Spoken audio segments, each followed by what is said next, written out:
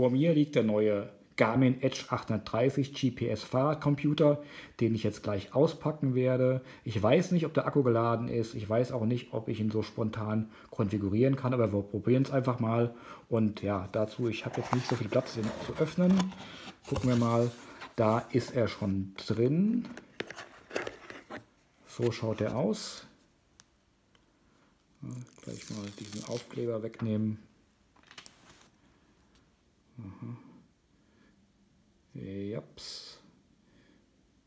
Wir haben unten zwei Tasten. Äh, hier haben wir auch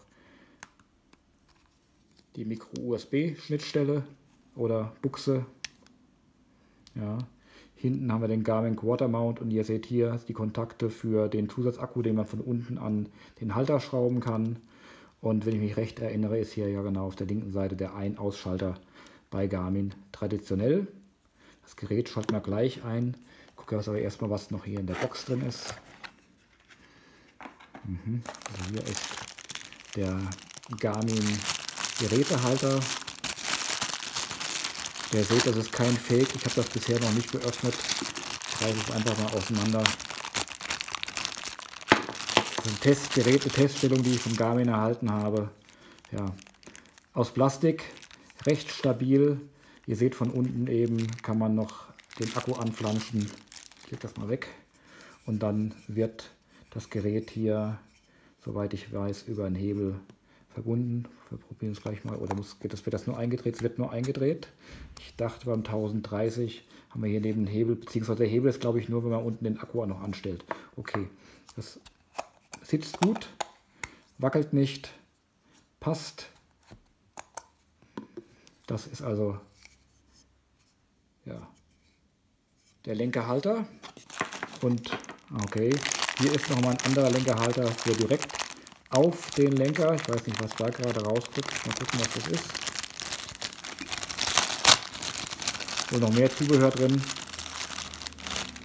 Aha, also einmal eine Schlaufe, falls wir den Garmin doch mal verlieren sollte. Kann man den sicherlich hier irgendwo mit der Schlaufe befestigen dann bleibt er eben am Halter hängen. Sehr schön. Was ist hier noch drin? Ah, okay, das sind jetzt hier nur so Gummischellen, wahrscheinlich, genau, um den Halter an die verschiedenen Lenkerdurchmesser anpassen zu können. Und entsprechendes Werkzeug. Das ist doch schon mal nett. Das packe ich jetzt auch erstmal weg. Genau wie die Verpackung. Wir haben hier ein Micro-USB-Kabel, ganz normal zum Laden packe ich jetzt gar nicht aus, davon habe ich genug. Ach ja, und hier ist eben dann die berühmte normale Lenkerhalterung mit den ganz, ganz vielen Gummihaltern. Oh, es sind sogar zwei, zwei Lenkerhalterungen Halterungen noch mit dabei.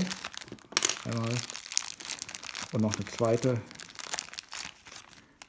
Da setzt man eben dann diesen Gummiring drunter, dass es nicht verrutscht.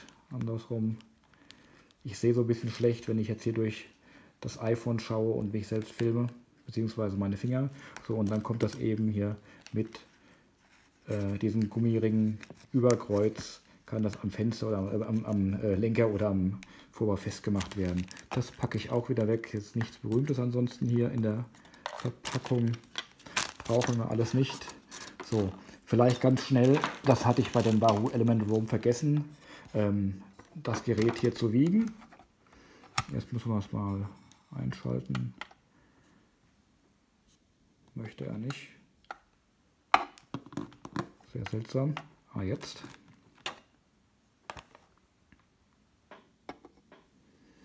...81 Gramm. Das ist etwa, wenn ich mich recht erinnere, 14 Gramm leichter als der äh, Wahoo Element Roam. Aber 14 Gramm ist natürlich nicht viel. Äh, ansonsten sind sie von der Größe her, was ich jetzt so sehe, etwa gleich groß. Kann auch einfach mal hier rüber greifen. Na doch, der Wahoo ist noch ein bisschen größer. Der Bildschirm ist auch 0,1 Inch größer, aber das fällt, glaube ich, kaum ins Gewicht. Ähm, den lege ich wieder weg. Jetzt schalten wir den doch einfach mal an. Wahrscheinlich hier durch längeres Drücken. Jawohl, er piepst. 76 Prozent. Okay. Sehr schön. Was passiert jetzt? Englisch. Ich muss ihn jetzt, das, äh, bei Garmin ist es eben so, dass ich alles direkt hier über das Gerät einstellen muss. Das tue ich jetzt mal. Ähm, Englisch möchte ich nicht. Deutsch, da war's. Über eine App würde das wesentlich besser gehen. Was steht hier? Telefon einrichten. Laden Sie die Garmin Connect Mobile App herunter und öffnen Sie sie, um das Telefon zu koppeln und persönliche Statistiken und so weiter. Ich habe die Garmin App schon äh, immer auf dem Smartphone, weil ich früher die ganzen Garmin-Geräte gefahren habe, den letzten eben der 820. Und ähm, ja, jetzt öffne ich mal die Garmin App. Dauert ein bisschen, offenbar. So, 70 Kilo. Aha. Das kann sogar noch ein bisschen noch funktionieren. Ist aber so egal eigentlich. Mein Tag möchte ich nicht. Die Werte sind wahrscheinlich alle schon ein bisschen älter. Hier 2017. Ah ja, okay. So, wenn ich jetzt einfach fortfahre, ich weiß nicht, auf welchem Screen ich hier sein muss. Hm, da ist noch der Edge 820. Ich gehe jetzt einfach mal auf Fortfahren im App-Menü Geräte wählen. So, ist das hier. Ich entferne erstmal dieses alte Gerät. So, im App-Menü. Wo ist das App-Menü Geräte? Das ist eine gute Frage. Garmin-Geräte hier. Ah ja. Immer noch mein VivoSmart Edge 820C. Ja. So, und Anwendung auf Display, Anweisung auf Display folgen. Kein Gerät gekoppelt, Verbindungsprobleme. Wie kann ich denn hier ein neues Gerät, an der Geräten, ah, da unten, jawohl, ähm, verbinden? Aha, okay. Edge 830, den wähle ich aus.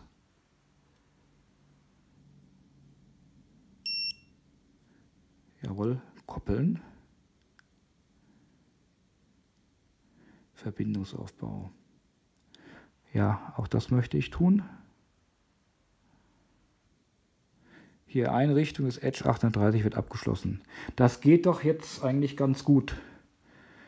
Ja.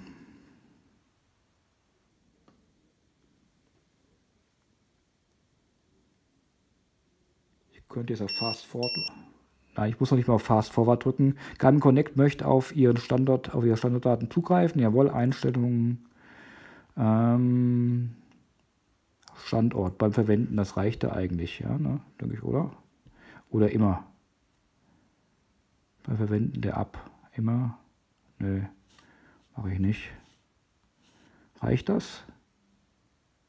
Zum Synchronisieren von Benutzereinstellungen Einrichtungsassistenten in mobile App abschließen. Okay. Die mobile App. Weiter. So, jetzt kann ich hier Herzfrequenzen einstellen. Wahrscheinlich habe ich das von früher schon mal gemacht. Das lasse ich jetzt einfach mal so. Leistungsbereiche. Ja, ich weiß nicht, ob das stimmt. Lasse ich jetzt erstmal so aktuelle Trainingsdaten an das neue Gerät senden. Nee, möchte ich jetzt nicht. Weiter. Aktivitätsprofile. Ah, okay. Radfahrtypen auswählen. Straße möchte ich. Berge möchte ich. Offroad. Offroad und Cyclocross Berge möchte ich eigentlich nicht. Im Gebäude Wegtour von Arbeit. E-Bike, ja warum nicht? Ich probiere es einfach mal. Tourenradfahren, egal. Jetzt habe ich fast alles drin. Ja. Okay, fast fertig. Synchronisieren Sie das Gerät. Das Gerät wird regelmäßig im Laufe und so weiter. Jetzt synchronisieren. So, liebe Leute, die Garmin Connect Mobile Einrichtung ist abgeschlossen. Das ging jetzt einigermaßen flott, hätte ich nicht gedacht. Herzlichen Glückwunsch, erste Schritte nicht jetzt. Alles klar.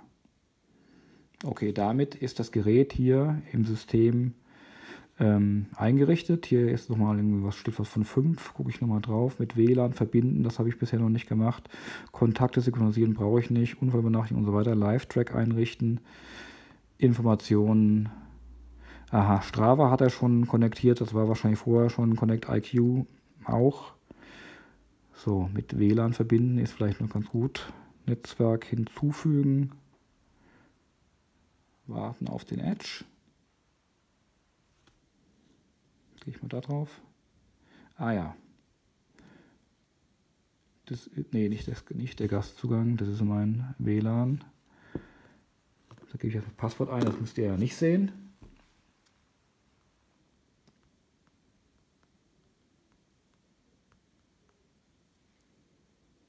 So, hinzufügen. Verbinden. So, muss ich jetzt hier noch was machen? Fortfahren. Ne, schaut hier, er ist schon mit dem WLAN verbunden, das ist eigentlich spitze. So. Aktivitätsprofile einrichten. Fortfahren. So, wenn ich jetzt einfach sage, ich möchte Rennrad fahren. Also ich habe jetzt hier verschiedene Aktivitätsprofile. Wahrscheinlich brauche ich das Handy jetzt gar nicht. Äh, das kann ich bei Wahoo alles übers Handy machen. Aber schauen wir mal hier einfach. Ich gehe jetzt auf Rennrad. Gucken, wie einfach es geht. Sensoren verbinden. Hm, ich gucke jetzt einfach mal, welches Fahrrad ist hier in der Nähe. Ich bewege einfach mal die Di2. Gucken, was passiert.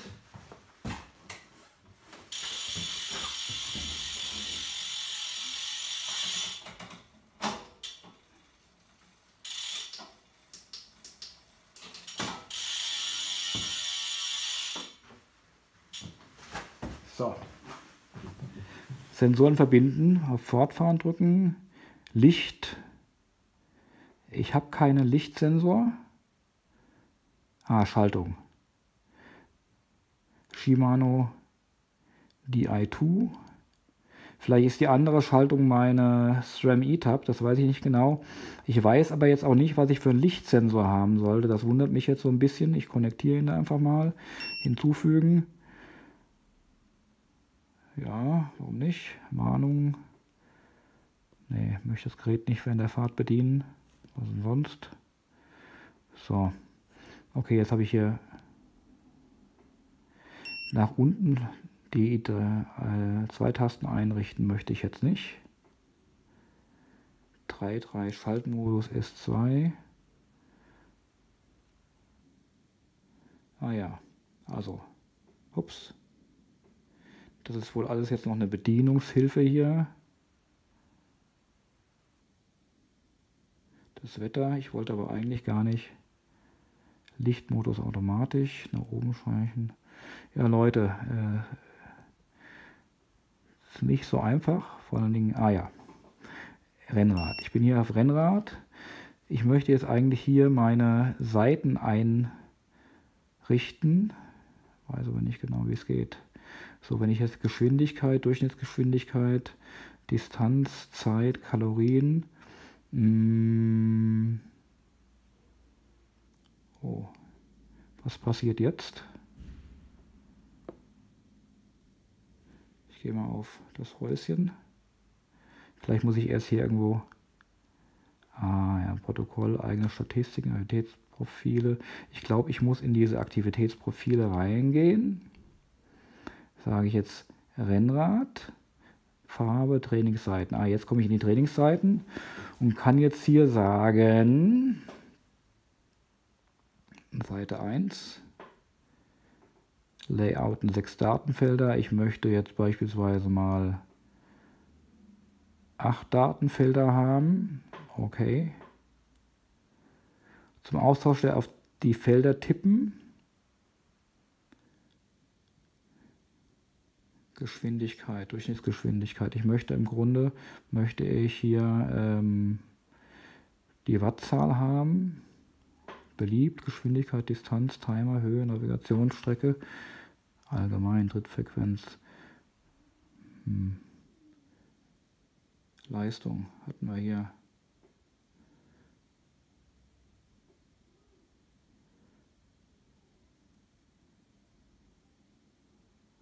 Leistung 3 Sekunden. Das tut er. Die Distanz, die Zeit, Kalorien möchte ich nicht. Klicke ich drauf.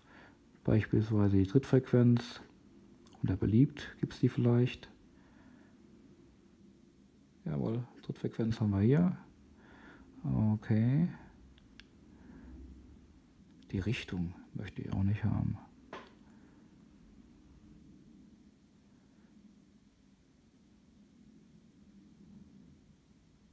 Höhe, die hatten wir schon. Dann nehmen wir die Höhe hier weg. Ich spiele jetzt einfach mal ein bisschen rum hier. Ähm,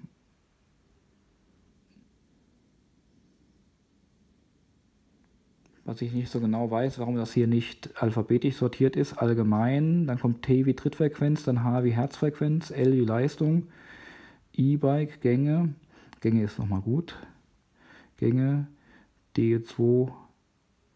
D2, einfach mal hier, okay, die Uhrzeit entferne ich mal, ich bleibe jetzt einfach mal bei der Schaltung, nee. Wo war die? Gänge. Gangsorten. Was ist denn eine Gangsortenbatterie? Weiß ich nicht. Ach so, die Gangsortenbatterie. Die Gangsortenbatterie. Leute, was ist denn eine Gangsortenbatterie? Nochmal. Gänge. Ach, Gangsensorbatterie heißt das. Ach so, Gangsortenbatterie habe ich gelesen. Kettenblattritzel, Verhältniskettenblattritzel. Okay. Was ist der Unterschied zwischen einer Gangsensorbatterie und dem DI2 Akkuladestand? Das verstehe ich nicht so ganz. Also das zeigt doch dasselbe an. Okay, ich sage einfach mal okay hier, Leer- und Datenfelder, das haben wir soweit. Dann gehen wir, glaube ich, zurück. Da ist das eingerichtet. Ähm, die Karte hätte ich noch im Grunde. Alarme, Navigation, Karte, Ausrichtung und Bewegungsrichtung, Autozoom, Navigationstext. Warum möchte ich denn einen Autozoom haben? Will ich das? Ah, okay. Lass ich. Kartensichtbarkeit, Karteninformationen, Karte wählen. aktiviert. Garmin Cycle Map EU. Ja, schauen wir doch mal. So, was mich jetzt nochmal interessieren würde, wie ich hier die, überhaupt die, die Karte anschauen kann. Nur einfach mal, um zu sehen, wie die Karte aussieht. Ähm, das weiß ich aber jetzt nicht. Oder muss ich irgendwie erst ein Training starten? Erfasst Satelliten. Ja, ich bin jetzt hier in der Wohnung. Da passiert wahrscheinlich nicht viel.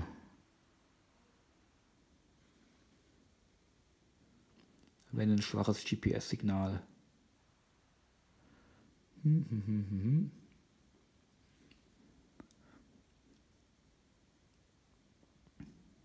Schade, schade, schade. Dauert.